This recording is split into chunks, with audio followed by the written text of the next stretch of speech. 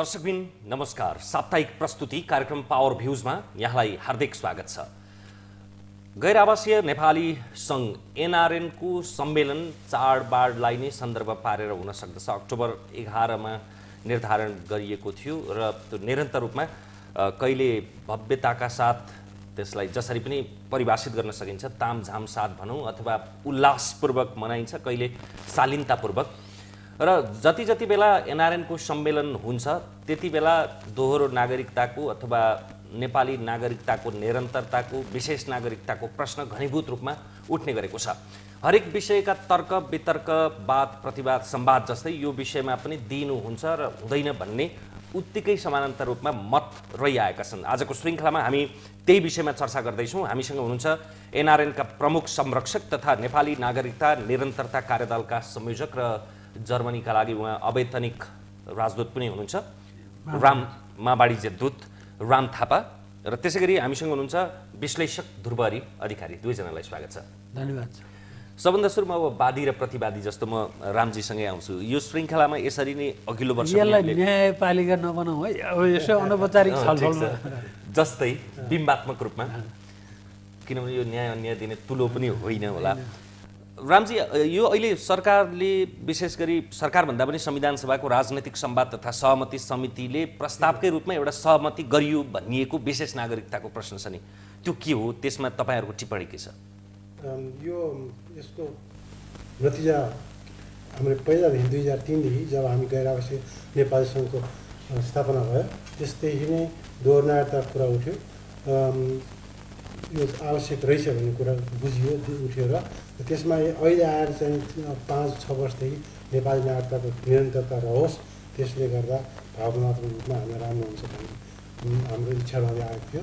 त्यही सिलसिलामा अहिले चाहिँ संविधान बन्ने क्रममा जुन ड्राफ्ट जुन छ ड्राफ्टमा चाहिँ अहिले प्रमुख सभा जुन चाहिँ अस्ति प्रस्तुत भयो उहाँबाट त्यो चाहिँ राजनीतिक अधिकार बाहेक सामाजिक आर्थिक अन्य अधिकार प्राप्त भएको विशेष नागरिकता दिने अ, नागरिकतालाई चाहिँ विशेष किसिम विदेश बेरासी नेपाली चाहिँ नागरिकतालाई त्यो त्यो नागरिकताले उम्मेदवार बन्न पाउँदैन मतदान दिन पाउँदैन तर अरू सबै अधिकार हुन्छ र यदि त्यो नागरिकता लिइसकेर लगातार पाँच वर्ष नेपालमा बस्यो भने पुरानो जस्तै नागरिकता फेरि पनि पाउँछ। बताएको र सुनेको त्यही हामीले त्यसप्रति तपाईँहरू सन्तुष्ट हुनुहुन्छ? सन्तुष्ट अहिलेको स्थितिमा जुन परिप्रेक्ष्यमा छ नेपालको त्यसमा मलाई व्यक्तिगत सोध्नु म सन्तुष्ट छु र म आशा गर्छु कि हामी स्वागत गर्छौँ हामी उत्साहित भएका छौँ र मेरा सबै एनआरएन साथीहरू पनि संसारभरिका त्यसमा उत्साहित छन् र सन्तुष्ट छन् भन्ने कुरा म ध्रुवजीको ठ्याक्कै फरक मत रहन्छ यो विषयमा यो पछिल्लो कुराप्रतिको तपाईँको टिप्पणी? अब यहाँ मेरो टिप्पणी के हो भनेदेखि अब विशेष नागरिकता भनेर भन्दाखेरि चाहिँ शब्दको हुन त त्यो चयन अर्को चाहिँ वैकल्पिक शब्द तत्काल नभेटिएर नखोजेर खोजे त भेटिँदो हो। नखोजेर नभेटिएर गरे होला विशेष भने। तर झट्ट सुन्दाखेरि चाहिँ के लाग्दो रहेछ भने जिन्दगीभरि यहीँ बसेको यहीँ बिताएको यहीँ खडेरीमा पनि भएको झ पानीझरीमा पनि भएको नेपालकै बत्ती निभ्या पनि बेहोरेको पानी नआएको पनि बेहोरेको धारामा होइन सारा गरेको मान्छे चाहिँ सामान्य नागरिकता जो यहाँ बस्ने आकल झुकल आउने उसको लागि चाहिँ विशेष भनेर सुन्दाखेरि त यो त झन् अन्याय हुने कुरो आयो। यद्यपि तपाईँले व्याख्या गरे अनुसार र हामीले अब सुनेअनुसार चाहिँ के भने यो मतदान गर्ने उम्मेदवार हुनेदेखि बाहेक भनेर भनेको छ। तर त्यसलाई उचित शब्दावली नहुँदाखेरि विशेष सुन्दाखेरि चाहिँ यो जनसाधारणले सुन्दाखेरि कस्तो अनौठो कुरा। अतिरिक्त सम्मान विशेष। भने जस्तो देखियो। त्यसो भए हुनाले यो चाहिँ नि अलिकति नमिल्ने कुरा भयो। अर्को कुरा के भने अब उहाँले अघि भन्नुभयो र तपाईँले पनि सोध्नुभयो यहाँ दुईवटा कुरा आइरहेको छ। सुरुमा दोहोरो नागरिकता भन्ने शब्दावली प्रयोग भएकै हो। र अहिले आएर चाहिँ त्यो त्यो भन्दाखेरि अलिकति चाहिँ नि नकारात्मक कुराहरू नेपालमा बढी हुँदो रहेछ। हामीले खोज्या त के भने हाम्रो पहिलेको नागरिकता पनि कायम रहोस्। होइन? हामीले नयाँ पाएको ठाउँको चाहिँ नि त छँदैछ त्यो। त्यसैले भइरहेको नागरिकता चाहिँ निरन्तर रहोस् भन्ने माग। अहिलेको माग चाहिँ नि अलि शब्दावलीमा हेरफेर हुँदा अलि यो नरम जस्तो लाग्ने ऊ गरम जस्तो लाग्ने। अब यद्यपि तपाईँले वादी प्रतिवादीको शब्दमा भन्नुभयो त्यो त्यो हिसाबले त नभनौँ म पनि एउटा पर्यवेक्षक हो। उहाँ। चाहिँ नि अब त्यसमा लागिरहनु भएको छ। मैले पनि मेरो पर्सेप्सन निजी मात्रै पर्सेप्सन होइन। मेरो निजी अवधारणा कुरो होइन। निजीको कुरा गर्नुहुन्छ भने त व्यक्तिगत पारिवारिक हिसाबले त मैले पनि उहाँकै त्यो प पदचिन्हमा उभिएर बोल्नुपर्ने त्यही भाषा बोल्नुपर्ने मान्छे हुँ। निजीको हो। तर म किन चाहिँ नि त्यो भनिराखेका छैन भने अब नागरिकता भनेको कुरा के भनेदेखि एउटै मान्छेले एकैचोटि दुईवटा देशको नागरिकता लिँदाखेरि त्यो निरन्तरता भन्ने कुरो चाहिँ एउटा शब्दावली हामीले एउटा राखौँ। तर यथार्थ के हो भने दोहोरो नागरिकता। दोहोरो नागरिकता भने एउटै मान्छे एकैचोटि एउटै अब कसरी मैले तुलना गर्ने एउटै एउटै महिलाले एकैचोटि दुईवटा श्रीमान कसरी हुन्छ? दुईवटा श्रीमान हुन्छ एउटासँग सम्बन्ध विच्छेद भएपछि अर्कोसँग हुन्छ। अथवा एउटा तालमा दुईटा नाउँमा खुट्टा होइन। तर। औपचारिक वैधानिक रूपमा त त्यो हुन सक्दैन। एउटा। अर्को कुरो के भने सबभन्दा ठुलो फन्डामेन्टल कुरा मैले सैद्धान्तिक कुरा भनेको। यो व्यावहारिक कुरा त अब छँदैछ। सैद्धान्तिक कुरा चाहिँ के भने एउटा मान्छे नेपाली त्यो चाहिँ नि एउटा प्रक्रिया मिलाएर अमेरिका पढ्न गएको थियो अथवा काम गर्न गएको थियो त्यहाँ चाहिँ एउटा प्रक्रिया मिलाएर त्यहाँको नागरिक भयो। नागरिक भएपछि त्यहाँ के हुँदो रहेछ भने त्यसले शपथ खानु पर्दो रहेछ। अरू देशमा नि यही हो। त्यहाँ के भन्छ नि यो अमेरिकाको नागरिक हुँदाखेरि शपथ खाँदाखेरि म अमेरिकाको संविधानको बचाउ गर्छु म अमेरिकाको तर्फबाट लड्नु परे हात हतियार उठाएर लड्छु कानुनले तोकी बमोजिमको काम गर्छु दुश्मनसँग चाहिँ लडाइँ गरेर अमेरिकाको चाहिँ वकालत गर्छु अब त्यसको बचाउ गर्छु भन्ने समेत कागजमा सही पर् सही गर्नु पर्दछ। मानिलिनु सैद्धान्तिक कुरा। भोलि अमेरिकाको दुश्मन नेपाल भएछ। भने त्यो मान्छेले नेपालमा आक्रमण गर्नुपर्ने भयो। हात हतियार लिएर आक्रमण गर्नु पर्यो नेपालीलाई दुश्मन ठान्नु पर्यो यो परिकल्पना हो तर अवस्था आयो। तर अवस्था त आउँछ। त्यही कारणले त कति देशले चाहिँ नि यो कुरा मानेको छैन त्यसैले लोयल्टी भन्ने कुरो एउटा वफादारी भन्ने कुरो एउटा देशप्रति हुन्छ एकचोटि वान एट ए टाइम ठिक छ।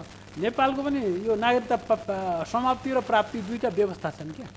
त्यो नेपाली भाषी भएको मान्छेले पछि अर्को देशको नागरिकता छोडेर आयो भने फेरि नागरिक हुन पाउँछ त्यहाँ कानुनी प्रावधान छ त्यसको तर एकैचोटि दुईवटा राखिरहँ भन्दा चाहिँ परस्पर क्लास हुने कुरा आउँछ। तपाईँले त्यसो यो मैले अमेरिकाको त भरको टाढाको कुरा गरेँ भोलि यहीँ चिनको भोलि यहीँ चाहिँ भारतको कुरा पऱ्यो नेपालमा भने के गर्ने?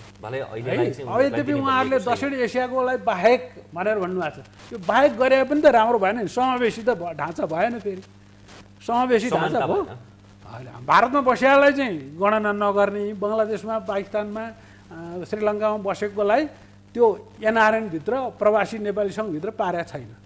त्यो त्यो रूपमा। त्यसो हुँदा विभेद भयो नि त त्यहाँ पनि। अब सबभन्दा ठुलो सङ्ख्या त यहीँ दक्षिण एसियामा छ। उनीहरूलाई बाहेक गरेर बाँकी चाहिँ अलिकति सुकिला मुकिला मान्छेको मात्रै सङ्गठन बनाउन तत्कालै के होला त्यो तत्कालै त्यो गर्नका लागि व्यावहारिक नभएर पनि यस्तै उल्झन हुने भनेर पनि सहज रूपमा आवत जावत पनि छ भिजा पनि चाहिँदैन त्यसैले त्यो भारतमा बसेका नेपाली र बाहिर बसेकामा त्यही फरक भएकै कारणले यस्तो मापदण्ड राखियो होला हजुर त्यो मापदण्ड राखियो होला त्यसलाई मैले त्यसलाई त्यति ठुलो विवादको विषय पनि बनाउनु खोजेँ होइन यो जानकारीको पक्ष यो पनि हो उहाँहरूले के हिसाबले एउटा ठुलो जनसमुदायलाई चाहिँ समावेश नगरिकन पनि जान सकिन्छ भनेर सोच्नुभयो। त्यो उहाँहरूले पुनर्विचार गर्ने कुरा हो। हो कि? एउटा अर्को चाहिँ नि यो संसारमा चाहिँ नि कति देशले चाहिँ नि नागरिकता दोहोरो नागरिकता दिन्छन् पनि कतिले मानेका छैनन् पनि। भन्दाखेरि मैले यसो हेर्दाखेरि छिमेकको भारतले नि मान्दो रहन्छ। है? छिमेकको चिनले पनि मान्दो रहन्छ। अमेरिकाले नि मान्दो रहन्छ। अब यत्र ठुल्ठुला देशहरूले के सोचेर चाहिँ नि त्यो दोहोरो नागरिकता नमाने होला त? है। अब एउटा कुरा के छ भने उहाँले भन्नु होला पछि म त्यसमा पनि आउँला तर के भने पर्सन अफ नेपाली ओरिजिन इन्डियामा पनि person of Indian origin PIO भने भारतीय मूलको मान्छे विदेशी तर भारतीय मूलको भने जस्तै उहाँहरूले पनि एनआरआईको प्याटर्नमा एनआरएन भनेर ल्याउनु भएको त्यही ढाँचा काँचामा ल्याउनु भएको। हो अब त्यहाँ चाहिँ के भनेदेखि त्यो परिचय पत्र दिने है? अनि त्यसपछि चुनाव लड्ने यताउताको सुविधा हुँदैन तर त्यो परिचय पत्रको आधारमा ट्राभल फेसिलिटिजहरू अरू अरू केही कुराहरू चाहिँ पाइन्छ भनेर लेखेको छ। अब हाम्रो पनि पिएनओ भनेर व्यवस्था गरेर छ। त्यो ऐनमा। यो छ नि गैर आवासीय सम्बन्धी ऐनमा त्यहाँ person of Nepali origin PNO भने नेपाली मूलको व्यक्ति। भनेर त्यसलाई के गरेर छ त्यस्तो कार्ड दिने व्यवस्था गराएर छ। त्यो कार्ड चाहिँ नि लिएपछि के हुने रहेछ भनेदेखि दस वर्षसम्म नेपालमा जतिचोटि आवत जावत गरे पनि भिसाको झन्झट नपर्ने भन्ने चाहिँ नि त्यो व्यवस्था त्यो पनि एउटा व्यवस्था त हो। तर समस्या के आउँदो रहेछ भनेदेखि त्यो परिचय पत्र चाहिँ नि लिनको लागि केही दस्तुर तिर्नु पर्दो रहेछ। त्यो दस्तुर चाहिँ नि के देखेर मान्छेहरू झस्किँदा रहेछन् र त्यो दस्तुर त्यो दस्तुर सात सय पचास डलर बराबर रहेछ। अब सात सय पचास डलर तिरेर दस वर्षसम्म चाहिँ नि ओहोरदोहोर जति पनि गर्न पाइन्छ नेपाली मूलको मान्छे भएर त्यो कार्ड देखाएपछि भइहाल्ने छ। त्यो कुरा चाहिँ नि हुँदाखेरि ल सात सय पचास डलर त्यति ठुलो रकम होइन विदेशमा बसेर कमाउने मान्छेलाई एउटा कुरो। अर्को कुरो कन्ट्रिब्युसन हुन्छ नि त नेपालको लागि भनेर केही कन्ट्रिब्युसन गर्न चाहनेले त एउटा योगदान होस् भन्ने चाहने हो भने त।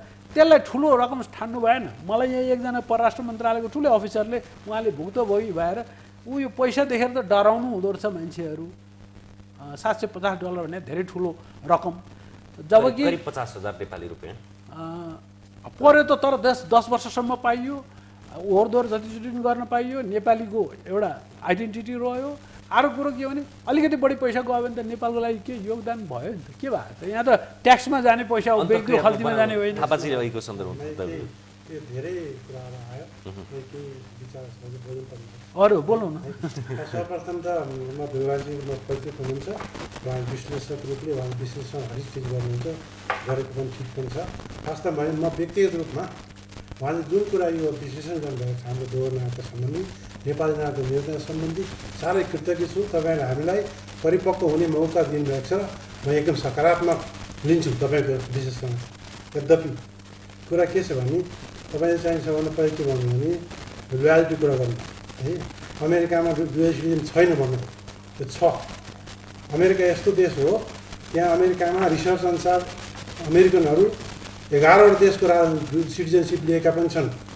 तर ऊ के भन्छ यो कुरा ठिक हो।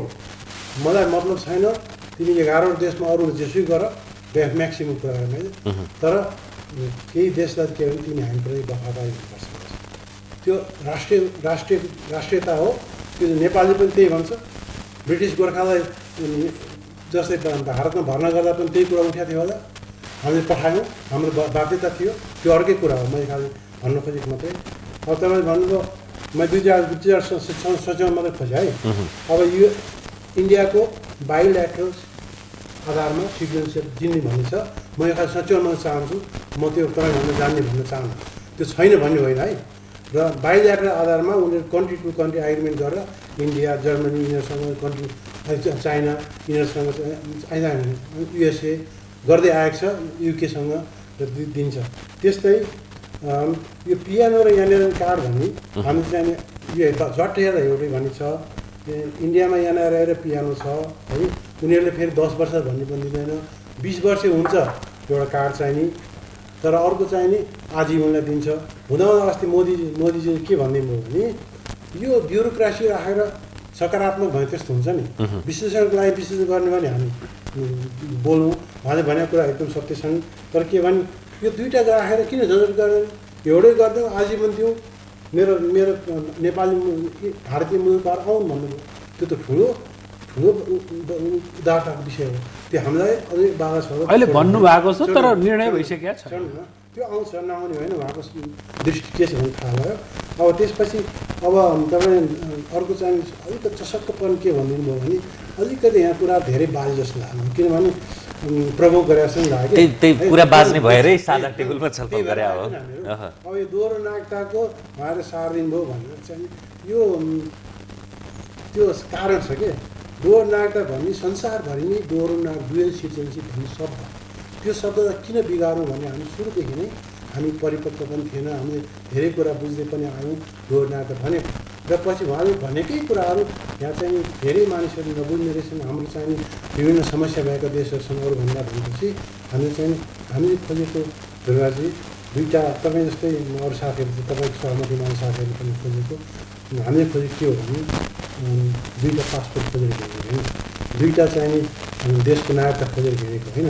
खोजेको खालि यो म जन्मित देश हो मेरो रगतको सम्बन्ध भएको देश हो मेरो सन्तति यो देशका हुन् यो भावनात्मक सम्मान खोजेको सम्मान पनि भावनात्मक इच्छा भएको हुनाले त्यो इच्छा गरेको हो त्यो चाहिँ के भने यो देशको नागरिकता निरन्तर रहेको छ। तर थापाजी अब यही भित्रको अन्तरिएको कुरा नि? मैले एउटा कुरा भन्छु। है अब त्यो चाहिँ नि यो चाहिँ नि के अरे यो अस्ति जुन कुरा आयो नि त्यो चाहिँ नि यो देशमा चाहिँ नि जुन यो नागरिकता कुरा है त्यसमा चाहिँ अब यो विशेष नागरिकता भन्दा चाहिँ यो असल देखियो त्यो सबै अब त्यो थाङ्ने कुरा भयो कि किन भन्नु भने सरी थाङ्ने कुरा भयो किनभने विशेष नागरिकता भन्दा राजनीतिक अधिकार नभएका राजनीतिक अधिकार भन्ने मेरो लागि र म जस्तै यहाँनिरको लागि कुनै प्रश्नको विषय नै छैन म के भन्छु भने जुन दुई दुई ठाउँमा राजनीति गर्ने कसैलाई मेरो विचारमा अधिकार छैन। है? गरे हुन्छ कि युएनमा गएर गर्नु पर्यो त्यसकारण जसको एक पोइन्ट कमी छ जसको राजनीतिक अधिकार छैन त्यो विशेष नागरिकता ठुलो चिज र सा अरूलाई साधारण मान्ने त त्यो एकदम राज्य हामीहरू कसरी हाँक्ने थापाजी जस्तो अब तपाईँले भन्नुभएको ठिक छ भावनात्मक रूपमा पनि यहाँ जन्मेको त्यसको निरन्तरता होस्। त्यसमा त विवादै छैन। नेपालमा मात्रै होइन संसारमा पनि। तपाईँ जर्मनमा हुनुहुन्छ अमेरिकामा बस्नुहोस् अस्ट्रेलियामा जानुहोस्। विश्वभरि नै त्यही यहीँको नागरिकता अथवा त्यही नागरिकताको आधारमा बनाएको पासपोर्टका आधारमा तपाईँ जति वृत्ति विकास गर्नुहोस् न तपाईँ जहिल्यै नेपाली एकपटकको नेपाली तपाईँलाई त्याग्नुहोस् त नेपालले भन्दै भन्दैन नि। म मान्छु। अनि त्यसो भए त त्यो सधैँ हुनुहुन्छ त। प्रथम एक उहाँले त्यो एउटा कुरा भन्नुभयो त त्यो पनि मैले अलिकति करेक्सन गर्नुपर्ने हुन्छ। कुनै पनि नेपाली यहाँ चाहिँ पढ्न गए अथवा चाहिँ खुसी भएर गएका हुन्। अधिकांश व्यक्तिहरू यहाँ बाध्य भएर विदेश गएका छन्। त्यो बाध्यता नबुझ्ने हामी त्यो बाध्य भएर गएको व्यक्ति त तिमी निक्ल्यौ त्यो भित्र आउनु पाउनु भन्न अवसरवादी भन्ने कहाँ भनेको छ र त्यो त। आकाङ्क्षाले जाओस् बाध्यताले जाओस् सधैँ यो त ढोका खुल्लै हुन्छ नि। यस्तो केही भनेको छैन मैले। ढोका कुरा छैन है। अब त्यो पायो लियो। मैले मैले अघि यहाँलाई निवेदन गरेँ कि व्यक्तिगत आधारमा भन्यो भने म यहाँकै ठाउँ उभिनुपर्ने अवस्थाको मान्छे पनि भनेको छु है मैले। भने म सकारात्मक तपाईँ तपाईँले मलाई परिपक्व हुने मौका दिनुभएको छ भने अब त्यसमा आउँछौँ है। अब यसमा के छ भन्नु भने मेरै केस गर्छु मैले चाहिँ विदेशमा गएर मैले अब राष्ट्रलाई चाहिँ म हामी गरिब देश पनि भन्नुपर्ने हुन्छ। सानो देश मेरो रातो पासपोर्ट हरियो पासपोर्ट दिएपछि एयरपोर्टमा साइडमा गएर तपाईँ तपाईँ त्यहाँ बस भनेर चाहिँ अरू देशको पठाउने। त्यो तपाईँले पनि अनुभव गर्नुभयो मैले गरेको छु। त्यो पनि हामी सबै सहन्छौँ है। तर मेरो तपाईँले भनेको त्यो एउटा प्रश्नको चाहिँ अनुभवमा के छ भने विदेशमा कुनै काम गरेर ज्ञान सिप सिकेर कुनै अफिसमा गरेपछि मैले चाहिँ मोबिलिटी भएको संसारमा आएको संसार सानो भएको छ। कुनै पनि ठाउँमा भन्ने बित्तिकै जान सक्नुपर्छ मेरो आफ्नै बाध्यता म जस्तै युरोप र चाहिँ अमेरिकामा बसी बा सम्पूर्ण बाध्यता के हो भने एउटा अफिसमा बसेर ब्याङ्कमा बसेर काम गरेको छु म ब्याङ्कर हुँ। र चाहिँ नि भोलि चाहिँ स्विजरल्यान्ड जानु भोलि युएसए जानु पऱ्यो भने नेपाली पासपोर्टले मलाई सात दिन लगाएर भिसा दिनुपर्छ। मैले सात दिन लगाएर इमिग्रेसन पठाउनुपर्छ। त्यो त्यो स्थितिमा मलाई चाहिँ बाध्य भएर अधिकांश व्यक्ति बाध्य भएर विदेशी पासपोर्ट लिएको कारण त्यो छ त्यो बुझिदिनुपर्छ होइन त्यो अरू जस्तै सहज थियो नेपाली पासपोर्ट लिएर भने त त्यसका लागि आवश्यक नै पर्दैन थियो। त्यसैले त्यो उल्झन सहने सहितको नेपाली नागरिकता रहने कि तपाईँले सहजताका लागि चाहिँ अर्को नागरिकता पनि लिने र आफ्नो निरन्तर होस् भनेर पनि भन्ने। त्यहाँ त स्वार्थ सन्निहित भयो नि त। पक्षमा हुनुपर्ने है। अहिले अलिकति अब उहाँको कुरा सकियो भने म पनि केही यसो सकौँ है। ठिक छ हामीहरू सम्पन्न व्यक्तिहरू पनि छौँ दुःख पाउने पनि छौँ जाउँ। अधिकांश व्यक्तिहरू विदेशमा गएपछि सम्पन्न हुन्छन्।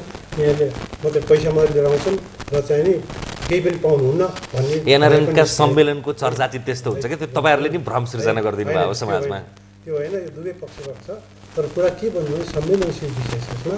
कुरा के भन्नु भने हामीहरूले ठिक छ जस्तो म जस्तो व्यक्तिहरूले अमेरिकामा बस्ने अस्ट्रेलियामा बस्ने सबैले शेषी कुरा शेषी पनि म सम्पन्न छु म चाहिँ नि एउटा धनाध्य व्यक्ति म चाहिँ अस्ट्रेलियामा बन्छु मलाई किन नेपाल जान आवश्यक मातृभूमि मलाई जन्माएको आमा बाउ यहाँ छन् भनेर आउनुभयो के अरे लगानी गर्नुभयो मेरो पनि त्यही स्थिति छ मैले भने हामीहरू हामी दोहोरो अधिकार किन लिने हामीले के भन्यो भने मेरो दाजुभाइ यहाँ छन् उनीहरूको राम्रो स्थिति छैन यहाँ आउँ हामी पनि केही काम गर्ने मौका पाऊँ सहयोग गर्ने मौका पाऊँ भनेर आएका हुँ नि अनि- कुरा हामीले के बिर्सनु भने दुई हजार तिन सालमा यहाँ के आरोप नलागोस् भने गएर लाग्नु हुँदैन त्यसो भने कुनै पनि नेपाली यहाँ चाहिँ एक त देशले तिमी आऊ भनेर आएको पनि हामीहरूले चाहिँ दुई हजार तिन सालमा अगाडि पछाडि द्वन्द्व भएको बेलामा हामी केही गर्न चाहन्छौँ यो देशको लागि भनेर आएर अगाडिपट्टि सैनिक लगाएर है मार्ने बज्ने स्थिति थिएन। त्यस्तो बेलामा प्रथम सम्मेलन गरेका थियौँ।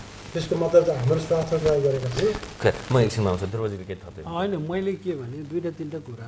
यो अमेरिकाको चाहिँ नि शपथको कुरा मैले अघि भने। उहाँले भन्नुभयो सही हो के भने अमेरिकाले केयर गर्दैन। तिमी यहाँ क्रिया खाइसकेपछि शपथ खाएपछि तिमी यो देशप्रति लोइन्छौ यहाँ हामीले अर्डर दियो भने हतियार लिएर दुश्मनसँग लड्न जानुपर्छ त्यो दुश्मन को को हुन्छ थाहा छैन तर वी डोन्ट केयर तपाईँहरू जतिवटा देशको नागरिकता लिनुहोस् हाम्रो मतलब छैन। तर पर्या बेलामा हाम्रो पक्षबाट लड्नु किनभने क्रिया खाएको छ शपथ खाएको छ है। त्यसैले यो अलिकति बुझ्नुपर्ने कुरो छ।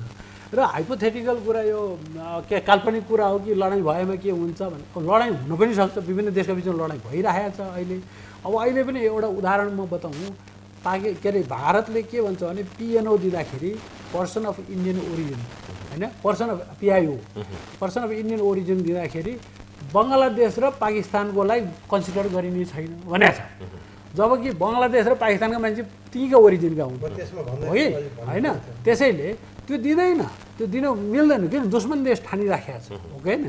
यी सबै कुराहरू एउटा ठाउँमा छन्। अर्को फन्डामेन्टल कुरा उहाँले चाहिँ कसरी लिनुहुन्छ कसरी भन्नुहुन्छ यो चाहिँ समस्या भनेको दोहोरो नागरिकता दोहोरो पासपोर्ट भनेकै दुईवटा पाइरहेका मान्छेको कुरा हो यो। दुईवटा जसको छैन त्यसलाई यो समस्या छैन। जस्तो जस्तो यहाँबाट खाडीका देशमा साउदी अरेबियादेखि लिएर अब चाहिँ कतार दोहा कहाँ कहाँ गएका छन् मान्छेहरू त्यहाँ मले मलेसियामा जो गएका छन् नि दिनको पन्ध्र सयका दरले हिँडिरहेछन् भनिरहेछौँ हामी। तिनीहरू जम्मैसँग नेपाली पासपोर्ट छ नेपाली नागरिकता छ। उनीहरू निर्धारित समयसम्म त्यहाँ बसेर काम गर्ने हुन् फर्केर आउने हुन्। उनीहरू एनआरएनसँग केही सरोकारै छैन। किनभने उनीहरूको एउटै पासपोर्ट छ एउटै नागरिकता छ।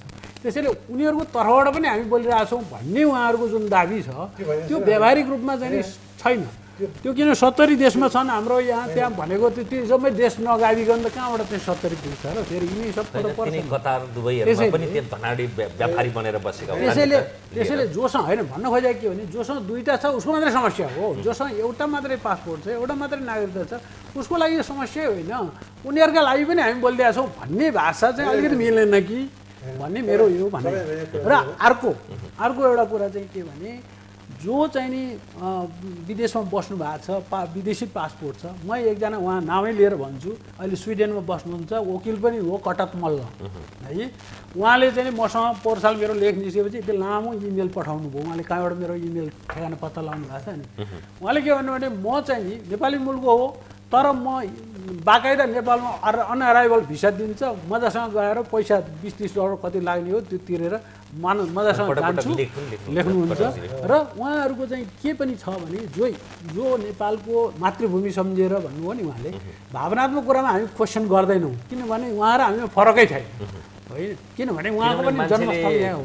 नदीको मुहान र रुखले उसको जरा बिर्सियो भने त त्यसको अस्तित्व त्यसमा क्वेसन छैन। क्वेसन कहाँ कहाँनिर छ भने त्यो एटिच्युड जस्तो विदेशमा पासपोर्ट चाहिँ विदेशी लिएर नागरिकता लिएर कारणवश उहाँले पनि भन्नुभयो नि बाध्यताले पर्छ होइन भिसा लिने बेलामा लाइन लाग्नुपर्ने यो सब कुराहरूले पनि लियो होला ठिक छ।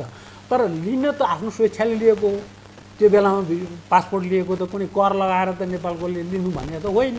तर आफ्नो स्वेच्छाले लिएपछि म यतिसम्मको जिम्मेवारी म बेहोर गर्छु बेहोर्छु भन्ने मानसिकताबाट निर्देशित भएर गरे हुनु पऱ्यो अब के लाग्छ भनेदेखि मैले देखेको आफूले अनुभव गरेको जो मान्छे विदेशबाट आउँछ यहाँ अपन एराइभल भिसा लिन्छ सबै कटक मलगा जस्तो इमान्दार छैनन् यहाँ। मैले कतिजना देखेको छु थाहा पाएको छु। त्यो के भने यहाँबाट यहाँ आउँदाखेरि भिसा लियो छाप लगायो होइन? त्यहाँबाट पस्यो।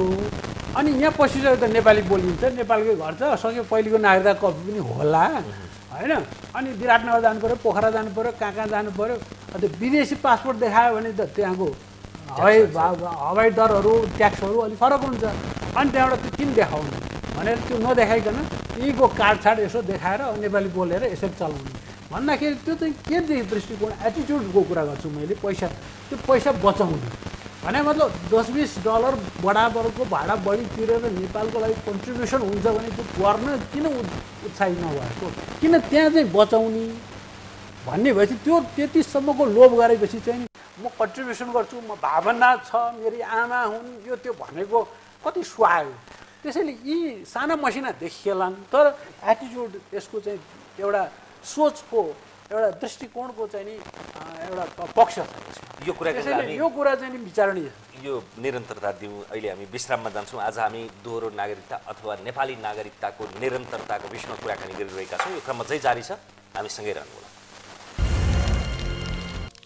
पुनः स्वागत छ कार्यक्रम पावर भ्युजमा आज हामी दोहोरो नागरिकता अर्थात् नेपाली नागरिकताको निरन्तरताका विषयमा कुराकानी गरिरहेका छौँ। हामीसँग हुनुहुन्छ एनआरएनका प्रमुख संरक्षक राम थापा र विश्लेषक ध्रुवहरी अधिकारी। पुनः स्वागत छ दुवैजना रामजीसँग अघि ध्रुवजीले बोलिरहँदाखेरि केही विषयमा असहमति राख्दै हुनुहुन्थ्यो। दुई तिनवटा कुरा पनि मैले सच्याउनु पर्ने छ त्यस कारण।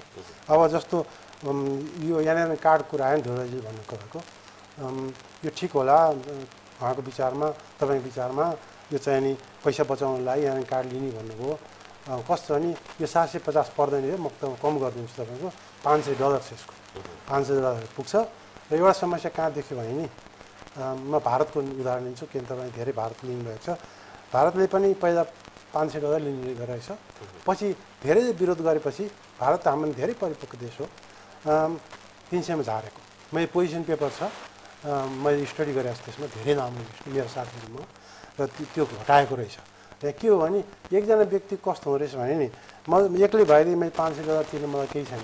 म चाहिँ तिन चार लाख नेपाली रुपियाँ खाएर जारी खाएर बस्ने मानिस मिडल क्लासको जर्मनीको व्यक्ति इन्कम भएको व्यक्तिले एउटा अब तर पाँचजना परिवारलाई यहाँ ल्याउनु पर्दाखेरि साधारण व्यक्ति त मभन्दा कम कमाउने के हो भने उसको त पच्चिस सय त एक ब- एक महिनाको तलब त त्यसै पनि जाँदैछ दस वर्षको अवधि दस दस हजार त्यो ठिक छ। त्यो पनि एसिड भइसक्यो। किनभने यहाँ फेरि एउटा अर्को गल्ती के गर्नुहुन्न भने नि यहाँनिर कार्ड इन्डियाको पनि यहाँनिर कार्ड जस्तै यहाँनिर कार्ड र यो नेपाली नागरिकता निरन्तरता भन्ने कुरा मिसाउनु हुँदैन हामीहरूले।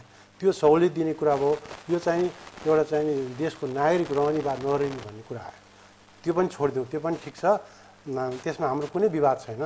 र मैले भन्नु खोजेको अर्को चाहिँ कुरा के छ भने यो खाडीको चाहिँ नि नेपालीहरू कुनै सम्बन्ध छैन भने उनीहरू उहाँहरू चाहिँ नि ओभरसिज नेपाली हुनुहुन्छ। नेपालीमा रे नन रेजिडेन्ट नेपाली।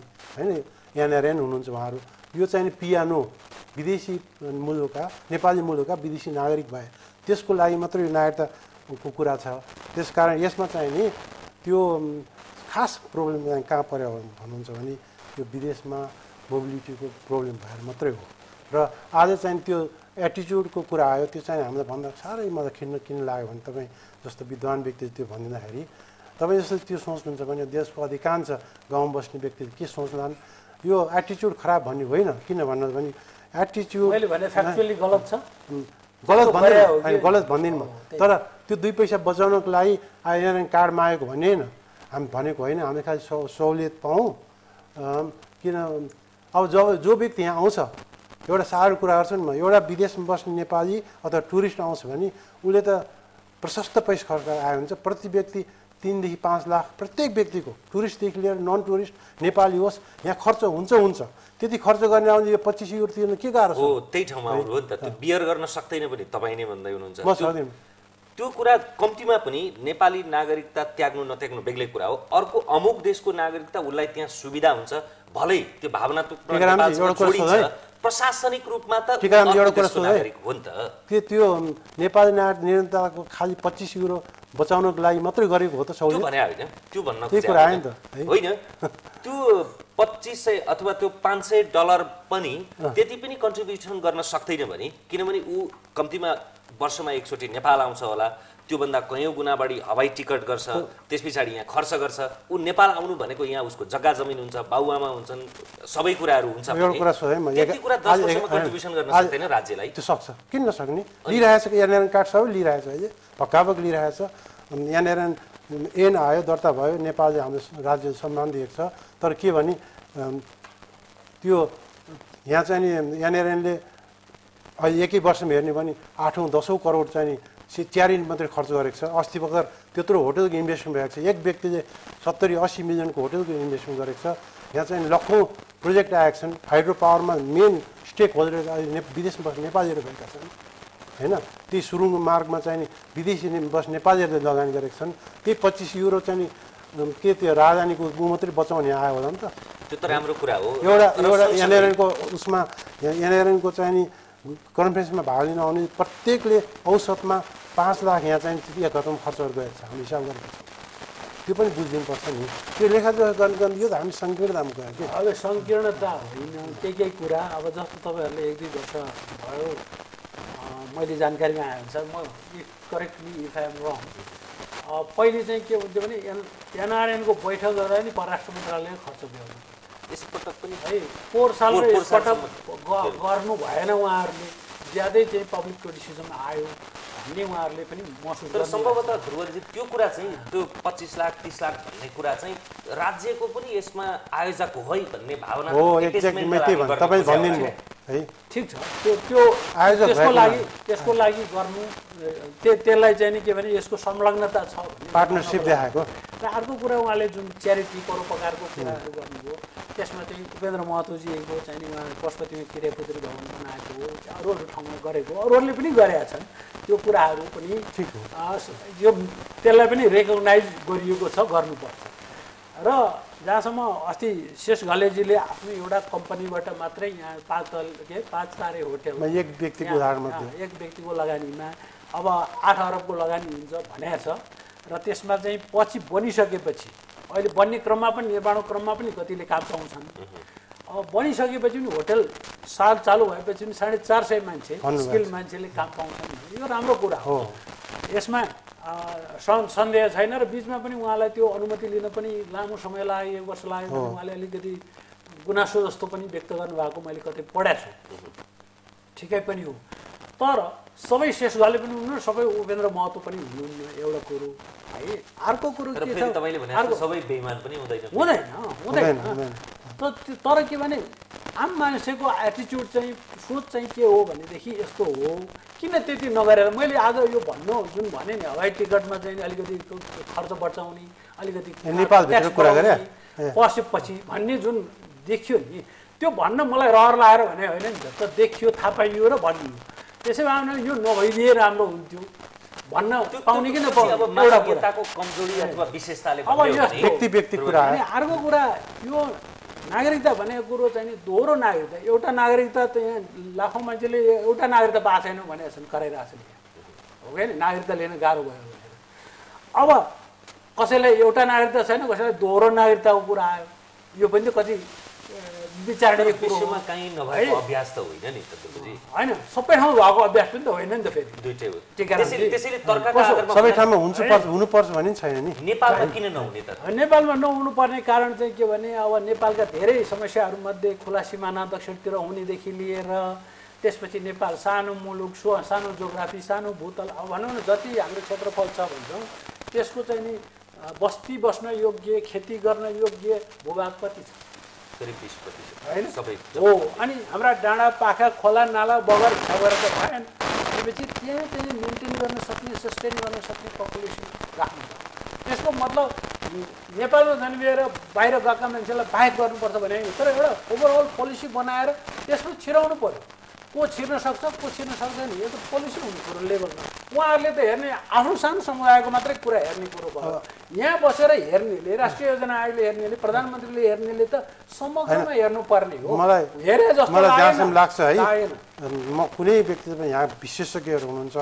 देशको चाहिँ देश चलाएर बस्ने राष्ट्रिय नायक सबैको उहाँहरू सबै बुझ्नुभएको छ। र त्यो गरेको पनि होला। अब एउटा प्रश्न के छ भने मेरो आफै पनि प्रश्न गर्छु। उहाँको प्रश्नसँग अलिकति टर्रो टर्रो लाग्ला तपाईँलाई। मलाई धेरै टर्रो के मलाई किन किन टर्रो लाग्यो अझ त्यसमा पनि टर्रोपन थपेर म प्रश्न गर्दैछु। नेपालको राजनीतिज्ञहरू एनआरएन भन्ने बित्तिकै एक प्रकारले उनीहरूप्रति नतमस्तक हुन्छन्। तिनीहरूको एउटा दलको मात्रै होइन पार्टीको समूहको पनि भगिनी सङ्गठन युरोपका प्रशस्त देशमा अमेरिकामा काफी ठाउँमा छन्। दोस्रो तेस्रो दर्जाका नेताहरूको पनि पाँच सातजनाको कङ्ग्रेसको एमालेको माओवादीको फल्न बुट भन्ने नै छ। र उनीहरूको त्यो एक्सेसका लागि पनि आफ्नो छोराछोरीको एक्सेसका लागि पनि एक प्रकारले अतिरञ्जित मोह हुन्छ क्या बाहिर बस्नेहरूप्रति। गोरो छालाप्रति हाम्रो जति मोह छ नि नेपालमा रहेका नेपालीभन्दा एनआरएनहरूसँग त्यो त्यस्तो किसिमको मोह देखिन्छ। तपाईँले अनुभव गर्नुभयो होला नेपालका पत्रकारहरूको पनि त्यस्तै छ अरू समुदायहरूको पनि त्यो अतिरिक्त मोह छ। त्यो अरू केही नभएर द्रव्यसँग जोडिएको मोह हो। त्यो यथार्थ होस् कि नहोस् त्यो तपाईँलाई भन्दा पनि तिनीहरूप्रतिको आरोप भएकाले कति गम्भीर भएर यो विषयलाई लिएर नीति बनाइरहेका होलान् भन्ने प्रश्नमा पनि हामीले हेर्नुपर्छ। होइन त्यो व्यक्ति व्यक्ति सोचाइ हो। मलाई चाहिँ त्यसमा हामीले धेरै प्राथमिकता दिनुपर्छ जस्तो लाग्दैन। एक दुईजना व्यक्ति त्यो गर्यो होला अब तर चाहिँ के छ भन्नु भने जस्तो त्यो दिँदाखेरि अब हामी विदेशमा बाध्य भएर नेपालीहरू गएका छन् अब देशको भूभाग बिस पर्सेन्ट मात्रै छ भनेर तिमी नेपाल गयौ र यहाँ बस तिमी बाहिर बस हामी त्यो लिउँ त्यो पनि भएन नि त। मरुन्जेल बस्नुहोस् पछि यहीँ आएर म मेरो अन्त्य होस् भन्ने चाहे पनि कसैले कुनै कानुन कुनै रोकेका छैन। प्रश्न यो हो कि तपाईँले अर्को देशमा आफ्नो सहजताका लागि त्यहाँको नागरिकता लिनुभयो त्यसैले एउटै व्यक्तिको दुईटा ठाउँमा नागरिकता प्रतिबद्धता हुन सक्दैन। त्यसैले उताको लिएपछि यताको त्यागिदिनुहोस् उताको त्यागे त्यागेपछि फेरि यो लिन पाउनुहुन्छ। त्यस्तो लचिलो प्रावधान त्यसकोमा भन्छु अहिले के देख्यो भने यहाँ नेपालमा विभिन्न किसिमका समस्याहरू छन्। हामीले पनि केही गर्न सक्छौँ नेपालको लागि भन्यो भने सहजताका लागि है नत्र त नेपाली नागरिकताको त्यसै लिनु भन्थ्यो होला। उधार भएको बुदागत रूपमा भनिदिनुहोस्। तपाईँहरूलाई नेपाली नागरिकताको निरन्तरता नहुँदा नेपालमा के गर्न समस्या भयो? भोट हाल्न अथवा उम्मेद्वार बन्न बाहेक आज पनि के गर्न समस्या छ यहाँ चाहिँ यहाँ आउन। लगानी गर्न अपनत्व महसुस गर्न जेसुकै गर्न। विदेशमा आर्जन गरेर विदेशमा बसिरहेका व्यक्तिहरूलाई व्यक्तिहरूलाई जो लगानी गर्न चाहन्छ लगानी पुरा गर्नु तर म के भन्छु भने नागरिकताको सम्बन्धमा यो भावनात्मक विषय भावनाले तपाईँ लगानी सम्बन्धी कुनै अरू सम्बन्धी जोड्नु चाहिँ जायज हुने छैन। तैपनि म के भन्न चाहन्छु भने गर्न चाहन्दाखेरि एउटा वैदेशिक लगानीकर्ता आउँछ भने पनि उनले विभिन्न सुविधाहरू नेपालमा। वैदेशिक होस् कि? नेपाली होस् कुनै फरक छैन लगानी गर्नका लागि एउटै त्यही- भएर। देखियो नि है जस्तो एक व्यक्तिले लगानी गर्दाखेरि उसले पाँच वर्ष दिनु पर्यो। त्यस किसिमको सहजताहरू आओस् र कुनै किसिमको। कुनै किसिमको ग्यारेन्टी भएमा जस्तो नेपाली यहीँ बसिरहे म यहीँ बसिरहेको भए विदेशी नागरिकता नलिएको भए उसले लगानी गरेको खण्डमा उसको त सबै कुरा ग्यारेन्टी हुन्थ्यो विदेशको भएको हुनाले नेपालभित्र उसको लगानी ग्यारेन्टी नहुने हुनाले उसले के खोज्यो भने मैले विदेशमा गएर कमाएको पैसा नेपालमा लगानी गर्छु म। यहाँ प्रत्येक व्यक्तिले लगानी गर्दाखेरि नेपाल एउटा के के कुरा बुझ्नुपर्छ भने उसले कहिले पनि सेक्युरिटीको दृष्टिकोणमा लगानी लगानी गरेको छैन। उसले चाहिँ म चाहिँ मुनाफा नभए पनि नेपालीहरू सहयोग मुनाफा भए पनि कम हो एक्ज्याक्टली त्यही भने हुनाले उसले चाहिँ सेक्युरिटी कम भएर गरिरहेको छ र मैले गरेको कुरामा अलि म देशको नागरिकता होइन त्यसमा अलिकति सुरक्षा भए हुन्थ्यो भने। है अब त्यस त्यो एउटा बुदामध्ये त्यो हो र अर्को चाहिँ के हो भने लगानी गर्दाखेरि विभिन्न कुराहरू सहज सजिलो भएदेखि पाँच वर्षतामा एक वर्षमा भयो भने नेपालमा बढी लगानी आउन सक्थ्यो कि भन्ने नेपालीहरू आफै सोचेको कुरा हो यो। लगानीको सुरक्षा नहुने हुन्छ? होइन त्यस्तो केही पनि हुँदैन। तपाईँले अघि भन्नुभयो आफैले। के भने यहाँ लगानी गर्दाखेरि अब विदेशी जो विदेशी छ नितान्त गोरो छाला कालो छाला जो भन्नुहोस् त्यसले पाउने पनि एक किसिमको जे नीति छ त्यही अन्तर्गत पाउने हो। नेपालीहरूले पनि विदेशी पासपोर्ट लिएका नेपालीहरू होइन? तिनीहरूले पनि पाउने त्यस्तै हो। तर अब के भनेदेखि परिचय पत्र यताउता कार्डहरू भयो भनेपछि अलिक चाउल चावल यताउता भिसाको सौ सहुलियत मात्रै अरू कुरा हो। ठिक। तर अब उहाँको उहाँको अब उहाँ पेट्रोन भएको हुनाले संरक्षक भएको हुनाले उहाँले सबैको अब भनौँ ब्रोडली चाहिँ सबैको जिम्मेवारी लिनुपर्ने हुनाले मात्रै. उहाँलाई यहाँलाई इन्डिभिजुअली मैले केही पनि छैन छैन खोजेको सरी होइन। तपाईँ है तर अब कुरा के आउँछ भनेदेखि नेपालमा लगानी गर्दाखेरि विदेशीले विदेशीले लगानी गर्दा राजनीतिक सय रुपियाँ- सय पासपोर्टको हिसाबले।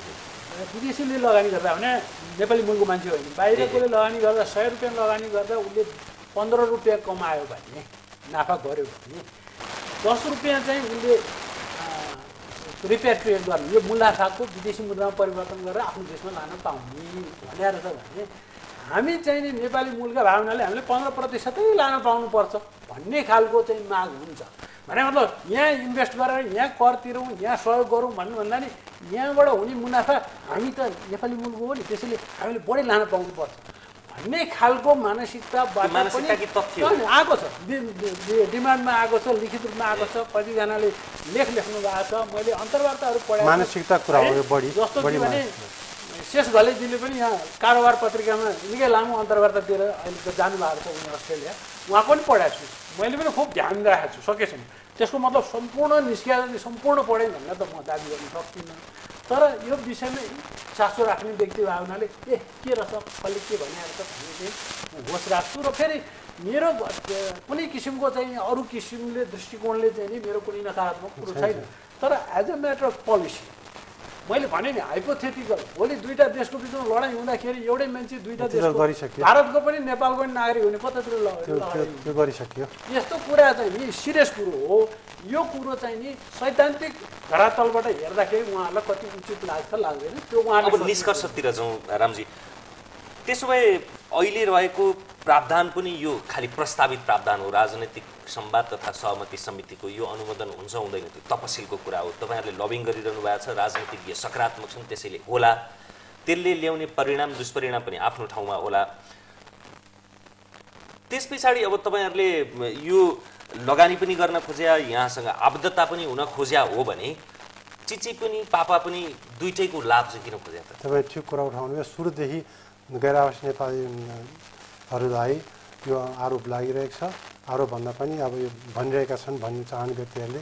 तर मैले भने नि अहिलेसम्म यो नागरिकता नआउँदा पनि तपाईँ हेर्नुहोस् तथ्याङ्क भनेको तथ्याङ्क हो लुकाएर लुकिँदैन। नेपालीहरूले विदेश बस्ने नेपाली कति लगानी गरिरहेका छन् त्यो हेरौँ त। अर्को कुरा। अब यो मेरो पुस्तकलाई भविष्य कुरा गर्छु। मेरो पुस्तक यो नागरिक नेपाली नागरिकता विश्वभरि दिएको कारण मेन कारण खोज्दाखेरि विश्व ब्याङ्कदेखि लिएर युएनदेखि लिएर सबै स्टडी गरेर अध्ययन गरेर ध्रुवहरू जस्तै अरूले पनि अध्ययन गरेर के के निष्कर्षमा आएको छ भने सबभन्दा कुनै पनि देशको लगानी हुने महत्त्वपूर्ण बाटो चाहिँ डायस्पोरा रहेछ विदेश बस्ने नेपालीहरू नेपाली विदेशमा नागरिकहरू है।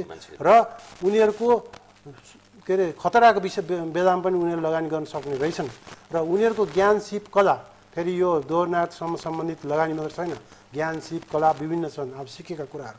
त्यो देशभित्र टेक्नोलोजी ट्रान्सफर गर्न पनि भित्राउनको लागि पनि त्यो चाहिने रहेछ भने। अब अहिलेको पुस्ता त म यहाँ नेपाली बोल्छु घर र म नेपालमा किन नेपाली नबोल्ने म त अङ्ग्रेजी बोल्दै हिँड्दिनँ। नेपाली नै बोल्नु पऱ्यो जहाँ गए पनि होइन। पनि। किन आरोप आउन सक्ला। विदेशबाट आउँछ यहाँ चाहिँ नेपाली बोलेर हिँड्यो भन्ने। त्यो पनि होइन है। त्यस कारण चाहिँ यहाँ आयो नि। आएपछि चाहिँ नि उसले चाहिँ नि अब मैले भन्छु दोस्रो तेस्रो पुस्ता जसले नेपाली नबोल्ला जसले गोरो छाला होला कालो छाला होला त्यो नचाहने व्यक्तिहरू पनि देखिए देखिन्छन् पनि त्यस कारण त्यस्तो स्थितिमा उसलाई चाहिँ भित्र नल्याएर नल्याएर चाहिँ गर्दाखेरि उसको स्थिति हो। त्यसरी है। नेपालको यहाँको रहनसहन परम्परा। भाषा सबै बिर्सिसकेको तीन पुस्ता पछाडिको मान्छेलाई पनि नागरिकता कुरा- प्रतिबद्धता त्यो अमुक देशमा जहाँ ऊ जन्मियो हुर्क्यो शिक्षा पायो सबै कुरा भयो त्यहाँ हुन्छ कि यहाँ उसको त्यसैमा आउँछु? दुई शब्द त्यसै हुनाले नै उसको आफ्नो बाबुआमाको जन्मभूमिप्रति आबद्धता ल्याउनको लागि कुनै किसिमको सहुलियत दिँदा ऊ चाहिँ भावना कस्तो हुन्छ ऊ नि भावुक मेरो बाउको। देश रहेछ भन्छ। ऊ ढोकामा आउने बित्तिकै उसलाई अरू अरूभन्दा पनि दुर्व्यवहार गरेर पठाउने हो भने ऊ त आउँदैन। र उसलाई बाटो राखेपछि मेरो बाउको देश म त्यहाँ जान्छु। के देश रहेछ? भनेर चाहिँ ऊ आउँछ र ज्ञान सिप कला भविष्यको लगानी चाहिँ नि आज के सिद्ध भएपछि संसारभरिमा नागरिकता को निरन्तरता हुन सक्यो भने त्यो देशमा बाबुआमाको देशमा त्यो भविष्यको चाहिँ नि सन्ततिले लगानी गर्न सक्ने र ज्ञान सिप कलालाई भित्राउन सक्ने भन्ने हुन्छ। यो बडा रोचक कुरा गर्नुभयो तपाईँले। अहिले। अहिले अहिले तिस लाख नेपालीहरू बाहिर छन्। ती तिस लाख मान्छेहरूले आदि जसोले अरू मुलकै नागरिकसँग विवाह गर्लान् अथवा नेपाली मुलकैसँग आदि छैनन्। यो हामी जुन सुन्नु न टिकारामजी अर्को अवस्थामा हुँदा यो 60 लाख हुन्छ। पिएनओको चाहिँ हामी कुरा गरिरहेको छ नि अहिले धुरेले भन्नुभयो। नेपाली मुलुकका विदेशी नागरिकहरू। त्यो त चाहिँ यति थोरै छन् कि त्यस्तो थोरो नाथे चाहिँ स- सङ्ख्याको लागि हामी आज चाहिँ ठिक छ। राष्ट्रको अर्को पुस्तामा पुग्दा दुईजना सन्तान भयो भने साठी हुन्छ। अर्को पुस्तामा पुग्दा एक लाख एक करोड बिस लाख हुन्छ। त्यो- अनि तिनीहरूलाई पनि यहाँ दियो भने त्यस पछाडि त्यसको एडजस्टमेन्ट कहाँ हुन्छ? बढाउँदै तपाईँले मल्टिप्लाई गर्दै उनीहरू जानुहुन्छ त्यहाँ आएर बस्दैन। अहिले एघार वर्ष नागरिकता त दिने भन्दै हुनुहुन्छ होइन तपाईँ होइन उसलाई बाटो खोलिदिने भनेको। नागरिकता ल्याऊ दुईवटा पासपोर्ट दियो भनेको छैन नि त। किन राजनीति अधिकार खोसेको के अरे नदिने भएको छ? जायज छ त्यो। म जायज भन्छु। है तर उसलाई बाटो राख्थ्यो भने ऊ त अन्त बसिरहेको छ। यहाँ आएर डेरासम्म त आउँदैन। उसले तर माया गरेर यहाँ चाहिँ नि विभिन्न सिप ज्ञान सिप ल्याउला। त्यसकारण भविष्यमा यो देशलाई सम्पन्न र समृद्ध बनाउनको लागि त्यस किसिमको बाटो खुलाउन आवश्यक छ।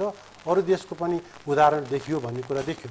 र म एउटा शब्द के भन्न चाहन्छु अन्त्यमा यो सार्कको जुन कुरा छ नि सार्कको चाहिँ नि हामीले राखेको कारण के भने अरू देशमा पनि भारतमा पाकिस्तानमा सबैमा सार्क बाहेक भएको हुनाले राज्यले त्यो गरेको हो त्यो एनआरएनले चाहेर भएको हो। अब सा- अब यसमा चाहिँ भन्ने उहाँले भन्नुभयो नि भावनात्मक कुरा पछिल्लो पुस्ताहरू पनि मेरा पुर्खाहरू कहाँबाट आएका रहेछन् भन्ने कुरा जस्तो। अमेरिकामा अहिले बस्ने मान्छे म आइरिस मुलुकको भन्छ क्या। Exactly. अब त्यो आयरल्यान्ड जान पाउँदा हो। हो। अनि त्यो त्यो चाहिँ सांस्कृतिक कुरा हो। अब जस्तो भनौँ न यहाँबाट इन्टरनेटमा कुराहरू जाँदाखेरि अहिले त व्यापक रूपमा नेपालीमै चाहिँ नि जान्छ संसारभरि जान्छ। प्रसारण भइरहेको कति ठाउँ रेडियो टेलिभिजनहरू खुलेका छन्। त्यो सबै राम्रो पाटो हो। तर लिगल कुरा कानुनी कुरा पर्दा भोलि चाहिँ गरम नरमको कुरा पर्दाखेरि चोखे पर्दाखेरि कानुनी रूपमा नेपाल चाहिँ तल पर्छ कि अघि उहाँले सानो समुदाय भन्नुभयो नि त्यो सानो समुदायको लागि ठुलो मूल्य चुकाउनु पर्ने स्थिति पो पर्छ कि? त्यो चाहिँ व्यापक रूपमा सोचौँ। मैले चाहिँ नि यो डेफिनेटली हुन्छ वा हुँदैन भन्नुभन्दा नि यसका पक्ष विपक्ष हो, भनेर मात्र देखाइदिया हो। तर के भनेदेखि समग्रमा चाहिँ नि व्यापक रूपमा सोचेर मुलुकका नीति निर्धारकहरूले टुङ्गो लाउने कुरो तर यतिखेर हाम्रो मुलुक सङ्क्रमण कालमा छन् अहिलेका नेताको टुङ्गो छैन। संविधान बनिन् नबन्ने थाहा छैन। अघि प- भनेको विशेष नागरिकताको कुरो पनि छलफलको क्रममै छ। के गर्ने हुने यिनीहरूले भोलि त्यसको लेजिटिमेसी लेजिटिमेसी पनि एउटा दुइटा हुन्छ नि अब कानुनी कुराहरू। एउटा लिगल लेजिटिमेसी एउटा हो तर पोलिटिकल्ली लेजिटिमेट कुरा के हुनसक्छ राजनीतिक रूपमा चाहिँ कुरा कुरा हो? हो? त्यसैले छलफल त हामीले गऱ्यौँ नि त समय र संवादका लागि धन्यवाद। छ। तपाईँले आयोजना। गर्नुभयो हामीलाई चाहिँ एउटा यसो मन्थन गर्ने गन्थन गर्ने चाहिँ नि एउटा मञ्च प्राप्त भयो त्यसको लागि चाहिँ नि एभेन्युज टिभी तपाईँको विशेष सक्रियता धन्यवाद। हस् हामीसँग हुनुहुन्थ्यो विश्लेषक ध्रुवरी अधिकारी र एनआरएनका प्रमुख संरक्षक तथा नेपाली नागरिकता निरन्तरता कार्यदलका संयोजक राम थापा। पावर भ्युजको आजको श्रृङ्खला यति नै। खबरभित्रको खबरका लागि हेर्दै रहनुहोला न्युज टेलिभिजन नमस्कार। धन्यवाद।